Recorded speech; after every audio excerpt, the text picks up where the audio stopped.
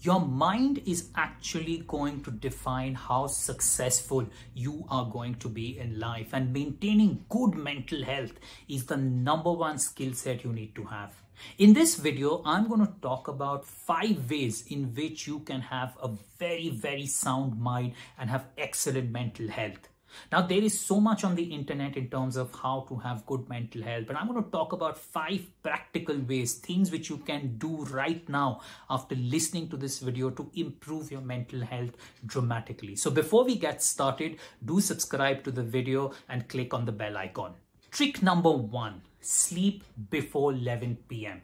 Why do I say you should sleep before 11 p.m.? Because if you generally see what happens with your mind, all that negativity, all those bad thoughts about a promotion that you missed, about a job that you missed, about a failed relationship, about you not doing very well in life, generally starts around midnight, post midnight, in the wee hours of the night. So if you sleep by 11 p.m. every day, you'll automatically get up early, you'll feel fitter, you will move with the natural rhythm of the sun, and your mind will improve dramatically.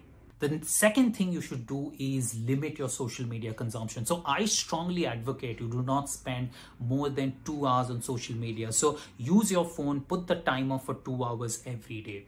Also, when you interact with social media, do not get into unnecessary fights. There will always be this relative, there will always be this peer who will talk about politics, who will talk about religion, who will make snide remarks about your career. So do not engage with such a person. I generally believe it's only 2 or 3% of your connections that constitute 80% of the problems in your mind.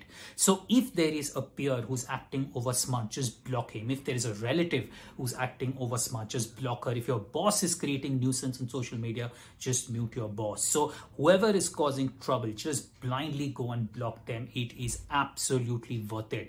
And that's how you maintain good uh, mental health. The third way in which you can maintain great mental health is to enrich your brain. Spend one and a half hours every day in enriching your brain. How do you do that? It's very, very simple.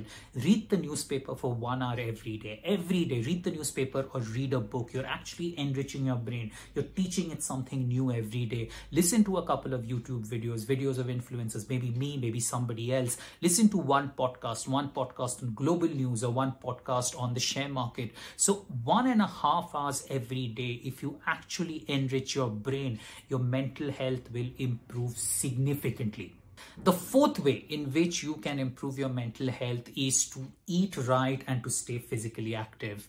I have great belief in the power of intermittent fasting and I would strongly recommend that you also do it. What is intermittent fasting? You basically do not eat after 5 p.m. or 6 p.m. and you then eat at breakfast again.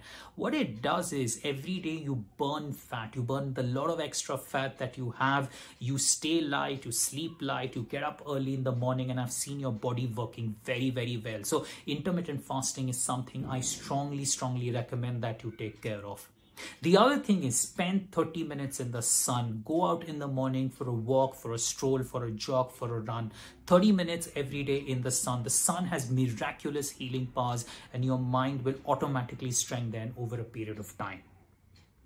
Reason number five, and the most important reason, learn to forgive yourself. I think there is so much baggage everyone is carrying, whether about a college you couldn't attend, an exam you couldn't clear, a job you couldn't get, a promotion that didn't work out, work out, a relationship that didn't work out. There is so much baggage each of us are carrying.